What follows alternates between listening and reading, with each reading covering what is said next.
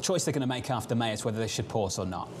They've implied, based on the median dot and their dot plot, and we can talk about the range of views of the Fed, but let's work with the median for now, just for the purpose of this conversation. One more hike and wait. And you said pretty clearly, you've made it very simple, there's three scenarios here. Pause, and then you pause. You wait through the rest of this year. You pause, and then maybe you cut. Or you pause, and then maybe you have to start hiking again. Of those three right now, where are you leaning? So I can tell you what I think the Fed will do.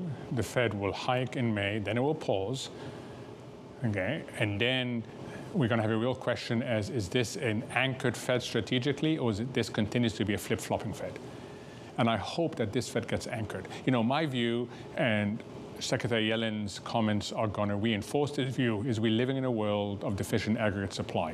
The supply side is not as elastic as it used to be because of political issues, because of transition issues, because of companies looking for more resilience.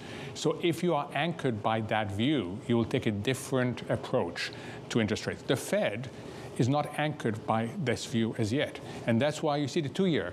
You know, I smiled when I saw the New York Times, of all newspapers, the New York Times talking about the bond market and calling it bonkers. Yeah. And it has been bonkers. Look at the two years. Look, look what, what is, it's moving again today. You've said this Fed is too data dependent. Is that what you're saying Excessively right data dependent. It has to have a longer term view. It has to be anchored by some strategic view of the economy. Of course, it's a gamble, but without that, even cash management becomes really hard. Just again, look at the volatility in the two year.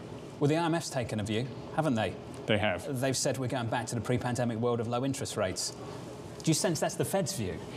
Um, I don't know what the Fed's view is, and that's one of the problems. I don't know what the Fed's longer term view is. Um, it's interesting. I mean, Olivier Blanchard has taken the same view. You know, I am not there. I think we live in an economy that's supply pressured for the next few years. So I do not see inflation going down quickly. I do not see interest rate going down quickly.